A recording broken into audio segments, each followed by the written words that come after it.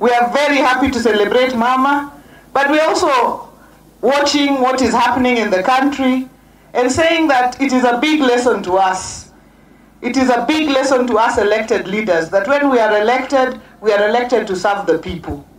And not just a people of a certain group or a certain language speaking or a certain region. You are elected, if you are elected as a national leader, you are elected to serve everybody.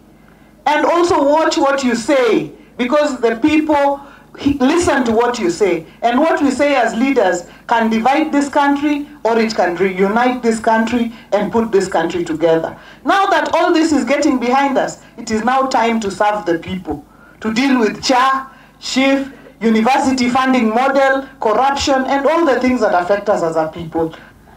The only thing I want to say as a senator, and now that we did it and we threw the big stone, given another chance, we will throw it again. And this is the reason, dear Kenyans, that in this country, all the leaders, given a chance, you must not lead like you are leading your village or leading your clan or leading your tribe or leading your region. If you are a leader in this republic, you must serve everybody because all Kenyans deserve service from all, all the leaders.